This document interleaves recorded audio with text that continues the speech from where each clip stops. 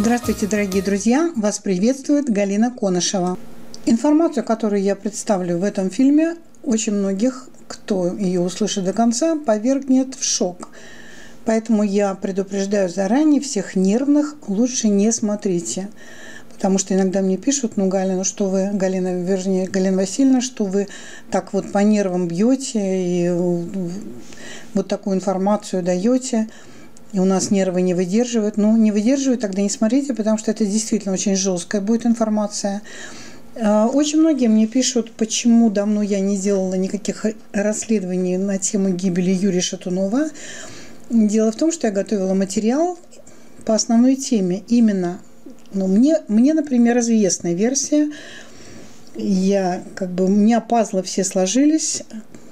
Причина гибели Шатунова такая же, как и причина гибели Бехтерева. Я на это постоянно обращаю внимание, но это проходит мимо ушей большинства фанатов, и люди все равно продолжают искать эм, скажем так, под фонарем, потому что там удобнее искать ту тему, которую я говорю, причину, вот кричу, намекаю. Я сказала самое главное, намекнула. И вот в этом фильме Шатунов Бехтерев «Тайна за семью печатями», третья часть, и здесь всего 14 тысяч просмотров. Здесь портрет Бехтерева, Шатунова и маленького ребенка. Уже намекаю, не знаю как, уже такими толстыми намеками, что причина убийства этих людей не в деньгах, вот Шатунову в том числе, не в выигранных или не выигранных судах, хотя они тоже имеют место быть, эта версия, но она не главная. Почему я говорю, почему говорю именно к Бехтереву?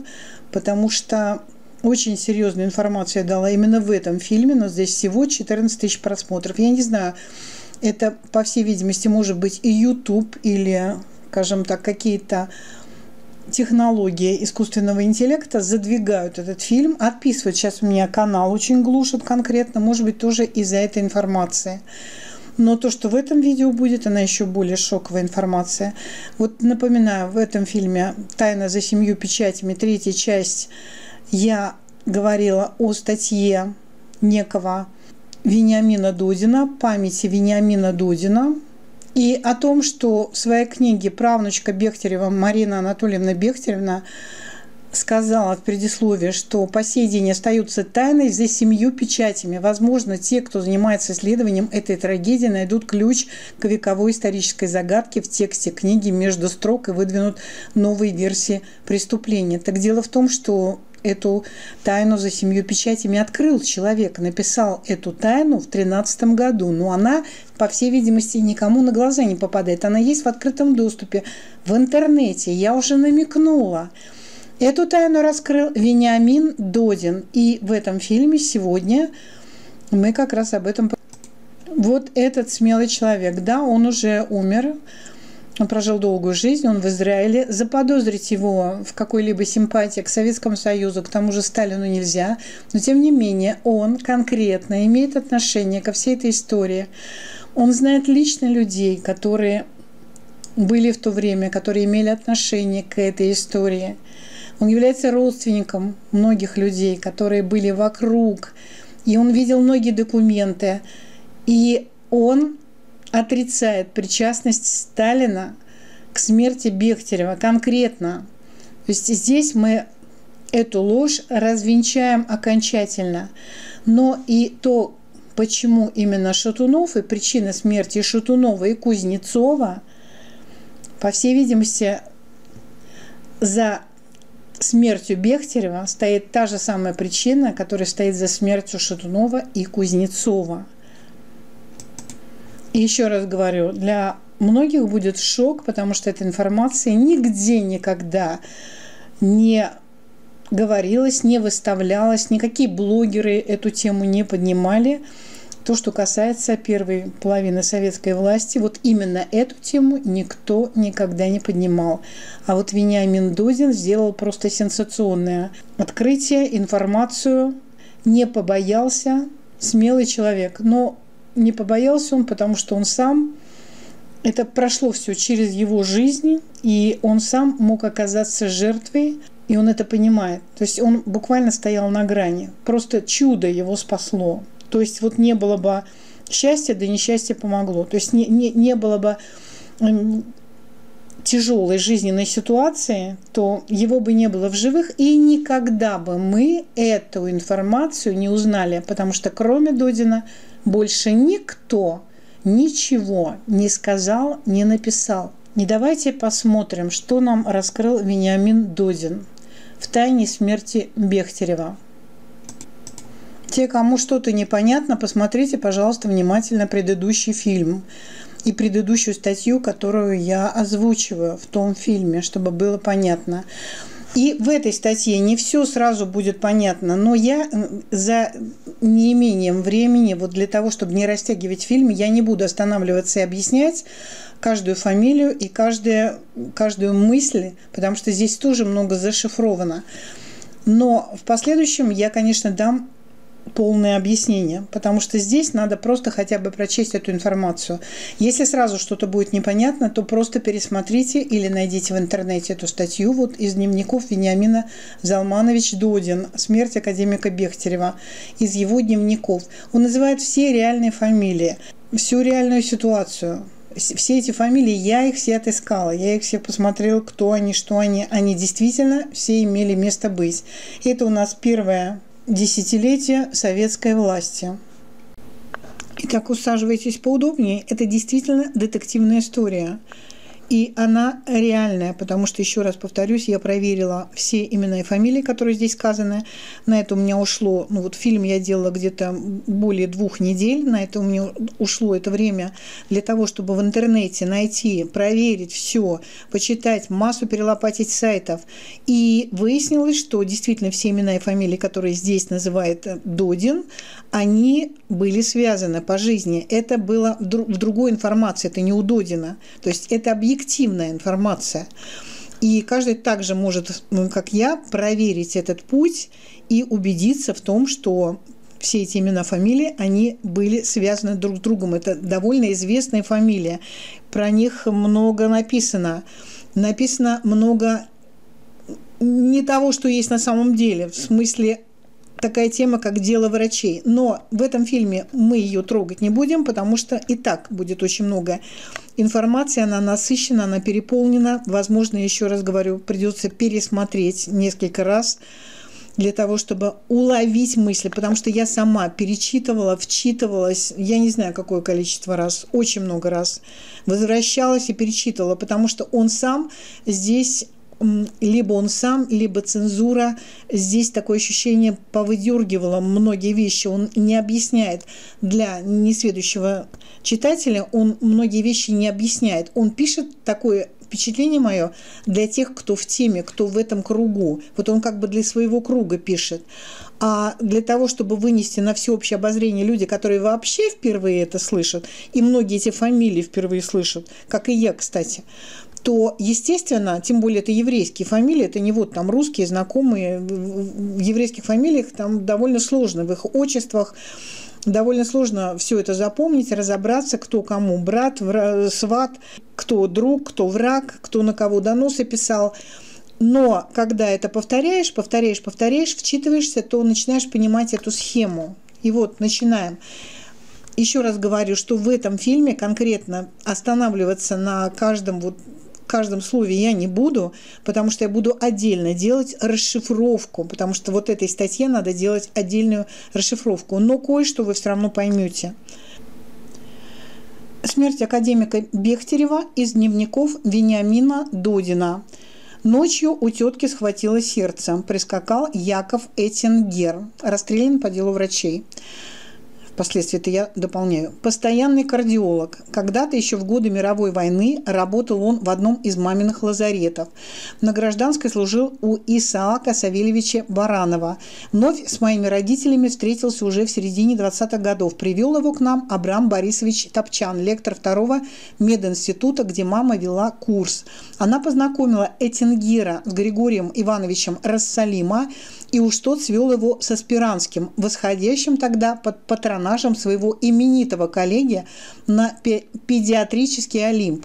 Мне неизвестно, почему Георгий Несторович Спиранский не пригласил Якова Гиляриевича Этингера к себе. По рассказам Минны Яковлевны Рацер, как раз в это самое время Спиранский искал опытного кардиолога, знакомого с посттравматическими проявлениями. Впоследствии Этингер попал в окружение Александра Васильевича Вишневского, а вот это имя тоже вы знаете, как мать Вишневского, наверняка многим знакомо. И я говорила об этом враче, в фильме тоже по Шатунову Бехтереву о том, как погиб Высоцкий. Посмотрите на моем канале. И там как раз я приводила статью одного врача о том, как вот этот самый Александр Васильевич Вишневский внедрял везде эту свою мазь Вишневского, особенно во время войны. И когда ее применяли, было огромное количество гангрен. То есть это тоже было вредительство. Вот видите, он проскочил. Это дело врачей. До 70-х годов и вот эту мазь Вишневского везде внедряли как, как бы лечение от э, гнойных заболеваний, а она наоборот, она нельзя, особенно при гангренах, если гангрены какие-то, ни в коем случае нельзя ее применять во время войны, ее именно рекомендовали и было применено. У немцев не было гангрены, а вот у наших было огромное количество, поэтому такое огромное количество инвалидов было после Великой Отечественной войны. И вот этот э, Александр Васильевич Вишневский, получается, имел прямое к этому дело. Вот видите, НКВД не дошло до этого, не разобралось, не успели. Новокаиновую блокаду он изобрел, обезболивание сочетание новокаина и масляно-бальзамической повязки дало новый метод лечения воспалительных процессов при самопроизвольной гангрене ног. Вот как раз вот этого делать ни в коем случае нельзя при гангрене, любой гангрене, потому что должен быть доступ кислорода вот к этим вещам. А масляные бальзамические повязки, они как раз перекрывают доступ кислорода и развивается тот самый абсцесс. Вот он как бы, он якобы изобрел эту мазь на трофических язвах, тромбофлебите, абсцессах, карбункулах и других заболеваниях. В 1932 году выпустил монографию «Местная анестезия». И что дальше? Новые методы. Вот то, что я вам говорила. Новые методы обезболивания и лечения ран, предложенные Вишневским, сыграли огромную роль во время Великой Отечественной войны, спасли тысячи советских воинов. Метод обезболивания, ну, допустим, метод обезболивания, да, но мазь Вишневского – это как раз развитие гангрены стал, значит, метод обезболивания по Вишневскому стал одним из ведущих в операционной деятельности советских хирургов, принес э, автору широкую известность. Доступный рядовым хирургам метод способствовал проникновению хирургии в обычное лечебное учреждение до сельской районной больницы включительно. И то есть вот этот у нас плюс получается, потому что обезболивание, да, это плюс. А масляно-бальзамическая повязка, мазь Вишневского, предложенная Вишневским в 1927 году, применялась с успехом для лечения ран в военный период. Ну, это большой вопрос. И вот смотрите, в настоящее время метод считается устаревшим из-за низкой эффективности. Так, минуточку, или он успешный, или он неэффективный или он эффект... Это они так мягко написали. Из-за низкой эффективности может приводить к повышенному риску рака кожи, гематологических и других заболеваний. К гангрене он может приводить, вот если по-русски говорить. Вот так вот. И автоматически очутился в санупре Кремля, вот сануправление Кремля – то есть это главное управление Кремля. Вот этот тот самый Яков Гилериевич Этингер – с самого начала этой околоправительственной деятельности он стал сперва участковым, а чуть позже личным лечащим врачом Екатерины Васильевны Гер Гельцер. Это как раз тетка вот Додина, балерина Большого театра. Очень часто, естественно, такие персональные врачи превращались в близких друзей дома своих пациентов. Ведь секретов от своего доктора быть не может, коль скоро сама жизнь твоя и твоей семьи со всеми ее секретами и тайнами зависит зависит от мастерства и порядочности такого всеисцелителя. Так сперва было и у тетки Катерины с Яковом Гиллериевичем, но по мере совершенствования режима и ужесточения его свирепости отношения между пациентом и врачом усложнялись. Постоянные скандалы в Санупре просачивались за пределы его империи. Волчья грызня за злачные места и могущественных подопечных в Цекубу и в Кремлевке естественным образом образом отталкивали нечиновных пациентов от рвущихся чиновники еще вчера таких милых, таких своих в доску докторов, умевших, оказывается, не только лечить горло, но и перехватить его за яблочко у своего доброго коллеги, заподозренного в конкурентных намерениях. Отношения доктор-пациент еще более усложнились, когда первого попросту приставили ко второму. Вот какая была система. И я хочу сказать, что он пишет как, как раз по, про те времена, когда еще был Троцкий, и был жив Троцкий, и он еще был в России. Это еще вот до 1927 года. И дальше эта система вся просто усложнилась и укрепилась. В рутинной обыденности Первые покошачьи окарауливали каждый потенциальный прыщ на задницах вторых, их домочадцев и чад, попутно истаивая, верно подданно от переполняющей их любви к родной семье пациента. И безо всяких колебаний, тотчас во след посещению любимой семьи ночными гостями забывали ее адрес. Ночными гостями – это когда происходили аресты, воронки так называемые. И врач, получается, забывал адрес своих любимых пациентов. Вот о чем пишет Дудин. В лучшем случае не предавая по собственной инициативе своих уже бывших подать подопечных. Это в лучшем случае получается. Не, не писали доносов, а так и доносы писали. Что, между прочим, каким-то образом обнаруживалось окружающими и почиталось гражданским подвигом, то есть если врач не доносил на своего пациента. Однако положение сотрудника САНОПРа обязывало и обязывало весьма определенно, и в том числе подпиской о сотрудничестве. Я хочу сказать, обратить внимание на вот этом этой фразе, потому что совсем недавно мы проходили некая бессия, здесь в Ютубе нельзя называть эти слова, и мы знаем, как некие врачи, некие больницы, не все, безусловно, не все, но некоторые, какое, какое огромное количество смертностей, особенно пожилых людей, было в этих больницах, и как было легко убирать неугодных, в том числе и Настю Метельскую, приписав ей просто этот диагноз, хопа, и в печку дальше, и все. Это очень удобно, то есть такие врачи, они всегда были, врачи-убийцы, так называемые, Врачи есть э, люди в белых халатах, которые спасают жизни, и есть врачи, которые э, либо сами убийцы, либо их заставляют при определенных обстоятельствах, и в том числе подпиской о сотрудничестве. Вот это оно то самое и есть. Если он дает такую подписочку, то никуда он уже миленький с крючка не денется. Причем сто лет назад или сейчас, обратите внимание, при советской власти или при царе, или при советской власти, или в 90-е годы, либо сегодня, сейчас, 2020-е годы, одно и то же. Везде есть вот это дело – подписка о сотрудничестве. И здесь собственная инициатива не требовалась. Инициатива заложена была в инструкции неукоснительно исполнявшейся всеми, без исключения, сотрудниками высокого учреждения, призванного охранять драгоценные жизни вождей и ближайших к ним бояр. Чистота рядов Кремлевки охранялась куда как строже и неизмеримо внимательнее кадров Лубянки. Ответственность у них была несопоставима. Поэтому забавно было наблюдать, как наши ответственные знакомые из санупровских врачей сухими вылезают из воды, когда все, без исключения, близкие, не близкие их исчезнувшего пациентов подбираются и исчезают вслед за ним. А они, хранители всех семейных тайн и секретов, отряхиваются по собачьи, отдыхают с месячишка в или Железноводске, от пережитых волнений и пристраиваться к очередному номенклатурному пациенту, потенциальному кандидату в престижные подвалы Третьяковского или Варсонофьевского переулков.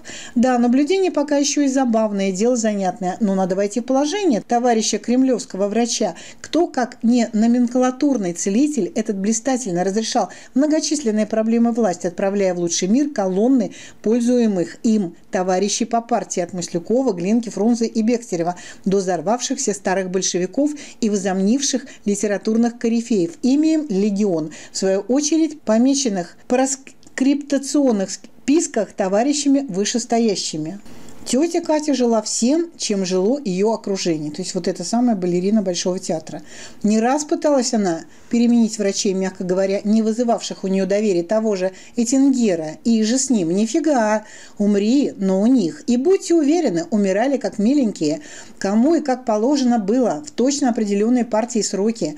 По утвержденным спецглавком и ВЧК, ОГПУ, НКВД, а потом и МВД сценариям, и загодя составленным эпикризом, загодя составленным – с протокол небелунгами вскрытий, сочиненными главным гробовщиком республики, академиком Алексеем Ивановичем Абрикосовым и Ко. За год до кончины его возглавил он в качестве четвертого тамады торжественный ужин у тети Екатерины на Брюсовом в знаменование благополучного окончания 15-летних моих лагерно-ссылочных приключений.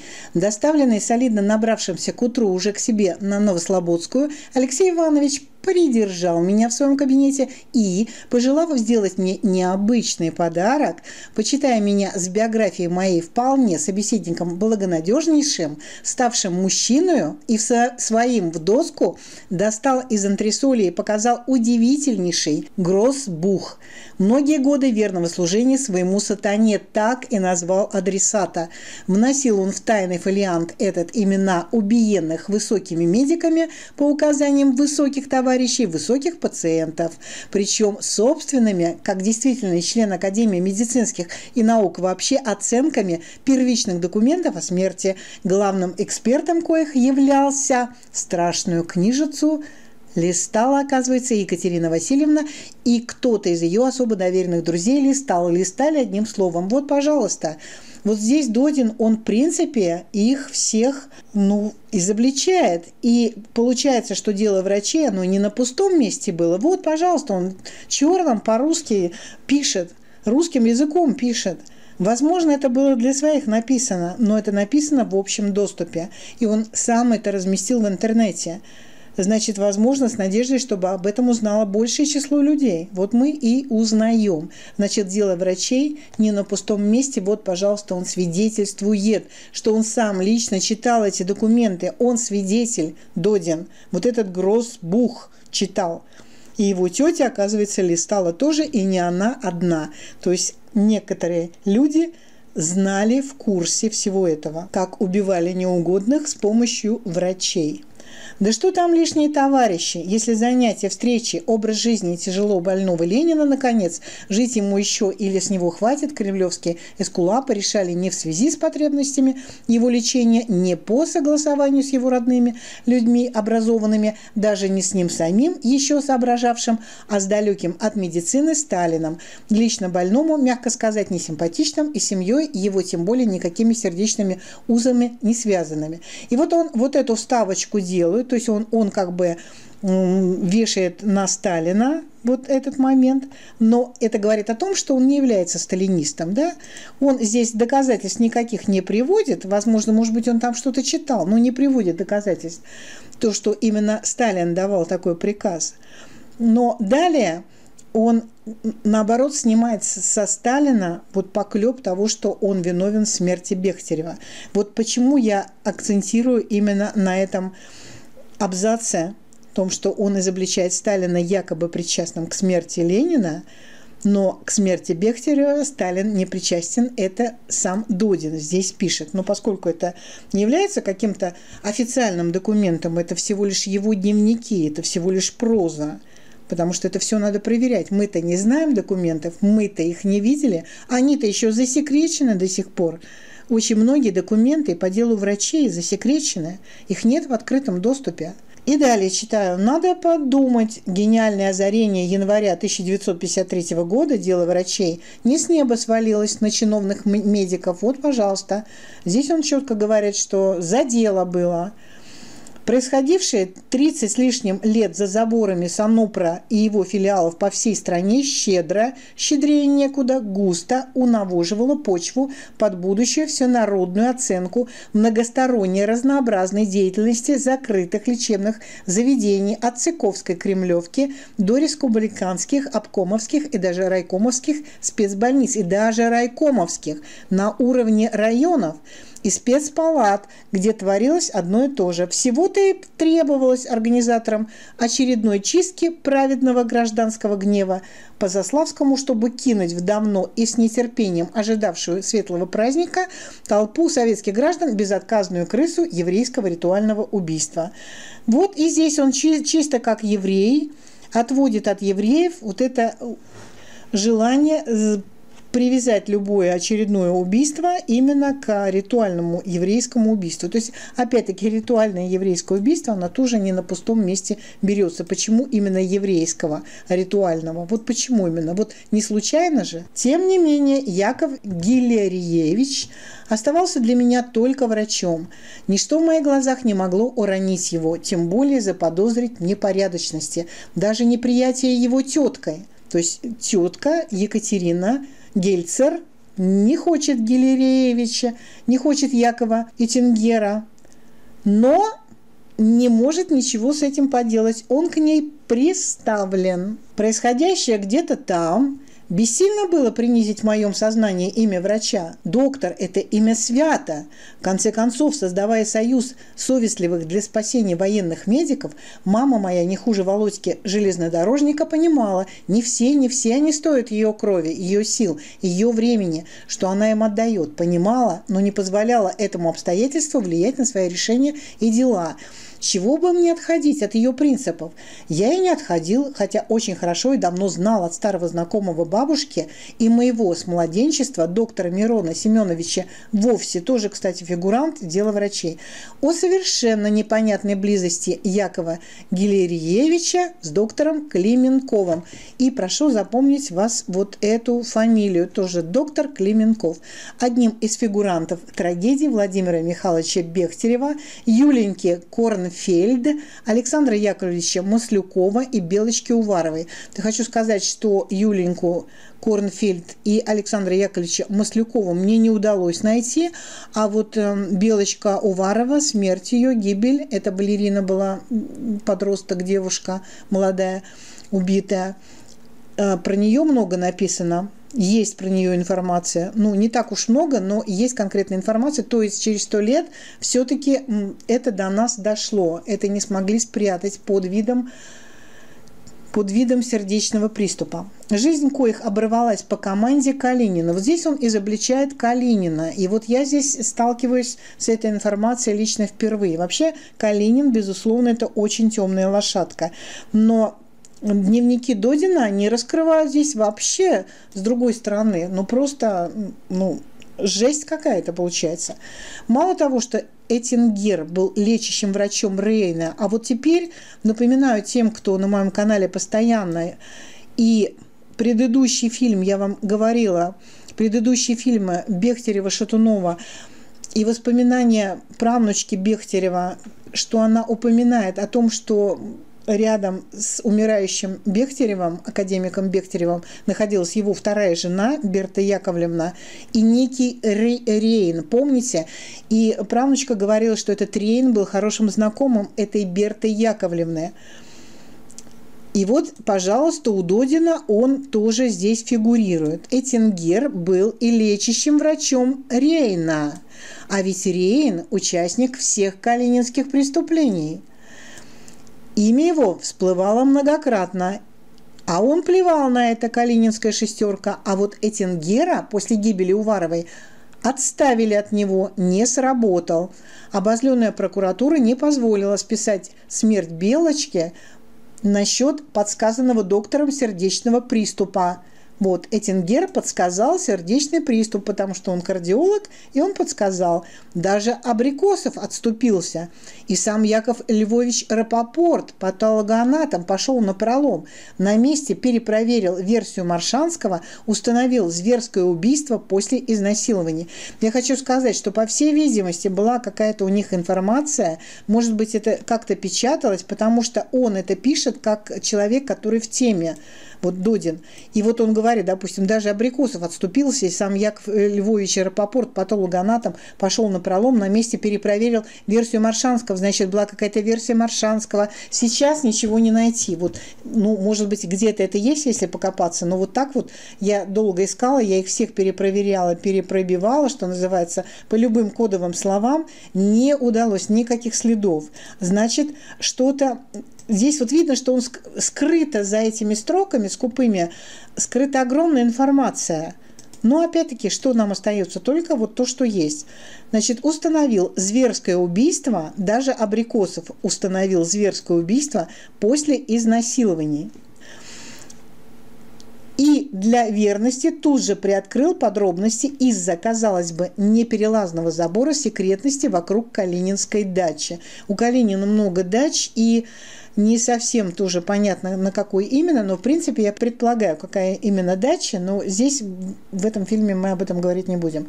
Вообще этот замечательный, мужественный человек, исторгавший на своих друзей Ниагара ослепительного юмора, при его-то профессии вовсе юмор исключающий, ничего и никого не боялся. Это имеется в виду Яков Львович Рапопорт.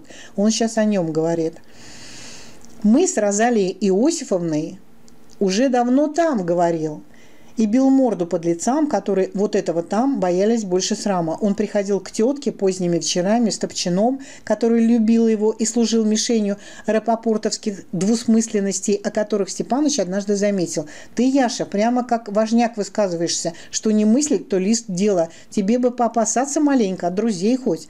Мой опекун любил Якова Львовича, поэтому, видно, воду вглядел. После 13 января 1953 года арестовали Рапопорта. Смотри, смотрите, Сталин еще немного ему, 5 марта он умирает, ну, отравляют его. А дело врачей только-только набирает оборот, только-только. В самый страшный для евреев час, вот тоже я не знаю, что он имел в виду. 13 января в самый страшный для евреев час. Но берег Господь этого чистейшего своего раба, охранял его бдительно, любил потому что и сохранил, приставив пожизненно к последней черте, отделяющей скверну жизни от никому недоступной вечности. Да, рассказ Степановича все ставил на место. Никто не забыл о трагической смерти Владимира Миха... Михайловича Бехтерева в 1927 году.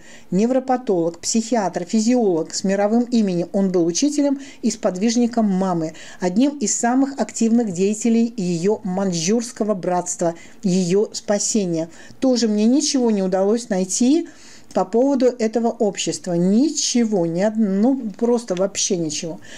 Визит Этингера еще раз напомнил наболевшее. Гибель Бехтерева загадочностью и внезапностью потрясла ученый медицинский мир России. 23 декабря этот жизнерадостный человек, отличавшийся, как говорили о нем, бехтеревским здоровьем, подаваться заканчивающегося первого Всесоюзного съезда невропатологов и психиатров и прочитывает свою итоговую лекцию. Извещает участников собрания о начале 24 декабря в субботу еще одного первого Всесоюзного съезда педологов. Тут же уезжает в Институт психопрофилактики, занимается там до вечера и полной силой энергии появляется на спектакле «Любовь Яровая» в Малом театре с Еленой Николаевной Гоголевой. Вот смотрите, Здесь он пишет про малый театр и спектакль «Любовь Яровая». Есть еще Большой театр и Лебединое озеро. Вот Додин пишет, что это был все-таки малый театр с Еленой Николаевной Гоголевой в заглавной роли, которую не поймал у себя в Ленинграде. По окончании представления Владимира Михайловича не пускают домой. Настойчиво рекомендуют посетить музей театра, размещенный в маленькой комнатке под чердаком здания. Музей, в котором и глянуть-то было не на что, скажет позднее Гоголева. А затем провожают вниз – кабинет директора театра. И там только что не силой, по выражению супруги Бехтерева, а вот правнучка Бехтерева пишет о том, что она Бехтерева, вот эта Берта Яковлевна, говорила, что они ели конфеты, она сама его угостила, она сама ела конфеты, ничего такого особенного не было. Еще информация, что он отравился консервами и так далее, где-то мороженым, но вот Додин пишет именно так. Чуть ли не силой, по выражению супруги Бехтерева, приглашают за приготовленный стол с чаем и пирожными. Это по периодике 1927 года. Вот еще вот, вот это печаталось, вот такой вариант. Уже на извозчике у Владимира Михайловича случилась обильная рвота. Она не прекращалась дома, у друзей Бехтеревых благоволенных. Когда больному стало совсем плохо, хозяин дома, сам известный московский доктор, вызывает из скорой помощи для ученых постоянного лечащего врача Бехтерева Леонида Григорьевича Левина, давнишнего друга Владимира Михайловича. Левина или Левина, не знаю, возможно, Левина.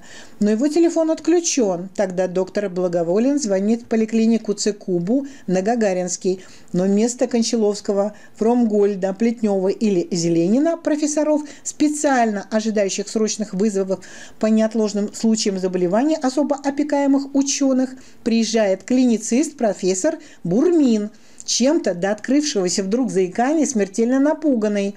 Он настолько растерян и раздавлен, что даже не пытается удержать около себя не то чтобы защитить захваченного им с собой, вот в кавычках он пишет, и прибывшего вместе с ним к больному профессора Шервинского, когда примчавшиеся вслед за ними четверо неизвестных, о чем и писала правнучка, что были неизвестные люди, вышвыривали этого почтенного старика из квартиры благоволенных. Зачем? Для чего этот уважаемый всеми 80-летний человек, признанный глава московских терапевтов, председатель Московского всесоюзного терапевтического общества, как напишут о нем в вечерней Москве, был привезен Бурминым, лечащим врачом самого Калинина. Вот, пожалуйста, Бурмин, лечащий врач самого Калинина. И Рейн, помощник Калинина. Все они находятся у постели Бехтерева. Вот куда подводит Додин. Действительно, они там все были к больному Владимиру Михайловичу. На этот вопрос ответили газеты тремя сутками позднее. Его непререкаемый авторитет, четкость его мышления и точные диагностические формулировки оказались бы спасительным прикрытием безвыходнейшей ситуации, в которой оказался Бурмин. Точно оказался уже куда-то приглашенный и кем-то проинструктированный выскажется в те же дни невропатолог Крамер – директор поликлиники той самой Цикубу и одновременно сотрудник кафедры нервных болезней второго медицинского. А ведь это тот самый Крамер, что в 1922 году стал основным лечащим врачом Ленина. Не однажды, приглашая Владимира Михайловича к постели своего именитого больного, то ли к Ленину, Крамер проникся к Бехтереву глубочайшим уважением и всегда был готов оказать ему любую поддержку – между прочим, в том же 1927 году Крамер осматривает и Сталина по поводу развившейся атрофии мышц левой руки. Как писал он сам, диагностические сложности, страх Сталина перед любой болью, вот тоже я не проверяла, не нашла пока эту информацию, писал ли это Крамер, и особая ответственность за любые промахи в лечении побудили меня предложить консультацию Бехтерева. Сталин колебался, но в середине декабря согласился на нее – так случилось, что эта консультация была возможна только в дни первого съезда невропатологов и психиатров, когда Бехтеревы появились в Москве, предположительно 22 или 23 декабря. Не исключено, пишут многочисленные авторы этого дома, что Бехтерев осматривал Сталина дважды, но именно 23-го он имел для этого не менее трех часов. Вот Додин пишет этого домысла а затем они очень живописно домысливают и сам процесс этой пикантной беседы-консультации, в результате которой чуть позднее якобы появляется ошеломляющий психиатрический диагноз паранойя. То есть получается, что Додин категорически отвергает. Вот он сейчас будет выдвигать свою собственную версию гибели академика Бехтерева. Не исключено, все без исключения авторы этих россказней единодушны в одном. Свое мнение Владимир Михайлович сообщает по телефону только одному Крамеру. С кем-то должен же он был поделиться этим открытием, чтобы оно точишь разнеслось по Москве и напрямую привлекло, привело его к логическому концу – столику с импровизированной закусью под чай в кабинете директора театра. С этого момента Бехтерев обречен, заключают они. При этом часть доброходов объясняет причину трагедии тем, что по возвращении в Ленинград автор диагноза немедленно сообщит его Зиновьему – Естественно, как член Ленсовета. Зиновьев. А при чем тут Зиновьев? Вот у нас еще появляется. Нет, ни минуты не оставалось у Бехтерева и его супруги после того дня в Институте психопрофилактики. Напрочь упущено было фальсификаторами, и если бы только ими, что чита благоволенных, самых близких друзей Бехтеревых, в доме которых по Дурновскому переулку, что у собачьей площадки на Арбате, они всегда останавливались, абсолютно точно знала все, что в эти дни происходило с Владимиром Михайловичем и его женой, и вокруг них. А знала она, во-первых, что Сталин еще 21 декабря, в день своего рождения, извинился перед приглашенным им Крамером и сообщил, что времени у него на упомянутую консультацию до первых чисел января не будет. Крамер тогда же позвонил Благоволину домой и попросил сообщить об отмене встречи Бехтереву. Тем не менее, слух о невысказанном диагнозе был уже выпущен и пошел гулять. То есть Бехтерева еще не убили, вот он еще не умер, вернее, его отравили, но он еще живой. А слух уже пошел. Все было подготовлено. Вот на что, о чем говорит Додин. Тем не менее, слух о невысказанном диагнозе был уже выпущен и пошел гулять. Именно тотчас после начала болезни Бехтерева. Нужно сказать, что сама эта версия выеденного яйца не стоила бы, если бы Сталин расправился с одним из участников консилиума из-за страха перед высказанным им ошеломляющим диагнозом, то почему не, не ликвидировал другого? Потом, кто же кого заложил? Крамер – это чтобы и ему вкусить от щедрот директора Малого театра или сам автор ошеломительной новости, тут же якобы разболтанный им по подключенному коммутатору Сталина телефону? Вы смотрите, он намекает на кого-то, он знает, кто запустил эту утку, но не говорит он здесь, в этой статье. Он просто намекает – Кому-кому, но не им, личным врачам вождей, нужно было дожидаться бегства Бажанова.